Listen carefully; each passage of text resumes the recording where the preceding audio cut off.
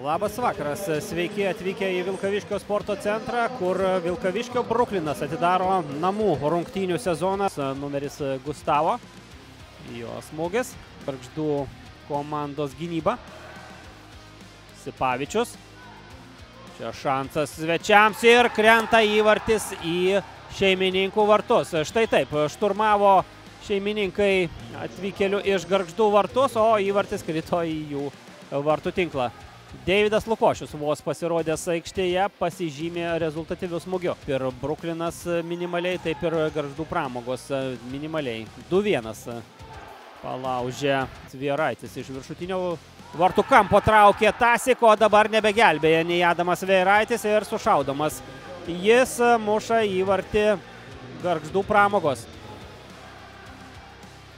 Deividas Reimaris. Dar kartą pasižiūrėkime. Koks galingas šūvis į patį viršutinį vartų kampą. Na, galbūt jau reikėjo ir smūgiuoti vartus. Deividas Reimaris greitoje atakoje ir antrasis Deivido Reimario įvartis bei trečiasis Gargždų pramogų rezultatyvus smūgis. 3-0. Jau pradeda triuškinti šeimininkus. Gargždų pramogos.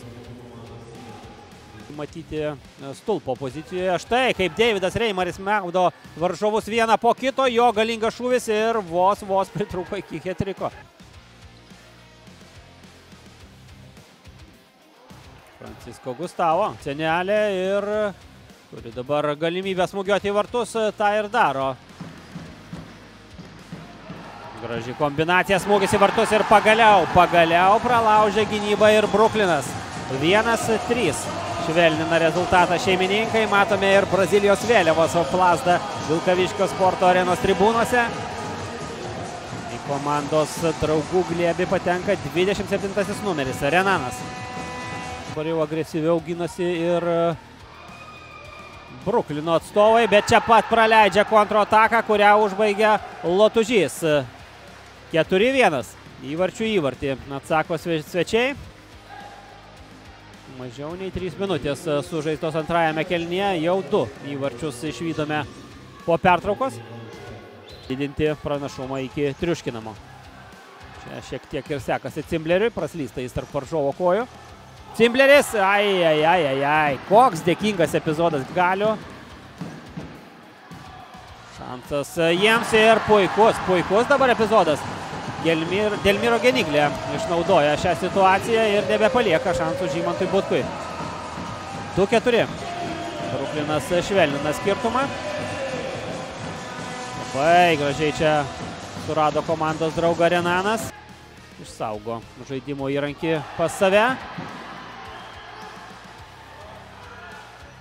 Koks techniškas dabar epizodas ir kaip vėl į vartus nepataiko. Francisko Gustavo. Renanas. Ir įvartis. Įvartis krenta į garždų pramogų vartus. Iki minimalaus skirtumą švelnina Bruklinas. Ir švenčia čia jau beveik tribūnose. Francisko Andersonas, 14 Bruklino numeris. Dar kartą pažiūrėkime šią kombinaciją. Ir Kirtis patiria pirmąjį pralaimėjimą šį sezoną Top Sport futzalą lygoje 3-4 nusileista garždų pramogoms. Ger, prieš gerą komandą žaidėm. Pirmas dalykas e, - sveikinimai garždams. E, manau, prastai sužaistas pirmas kėlinys ir, ir, ir paprasčiausia pritruko jėgelių antram. Visiškai pralaimėtas pirmasis kėlinys 3-0. Kas sutarėte per pertrauką, kad sugebėjote grįžti į kovą? Nu, kaip ir minėjau, nu, pirmas kilnys ne tai, kad prastas, baisus, darėm visiškai skirtingus dalykus, negu esam pripratę. Per pertrauką pakalbėjom, kad reikia daryti tą, ką per treniruotės darom ir truputėlį vaizdas pasikeitė. Žaidėte mažiau rungtynių nei kiti A lygos klubai. Ar netrūksta varžybų praktikos?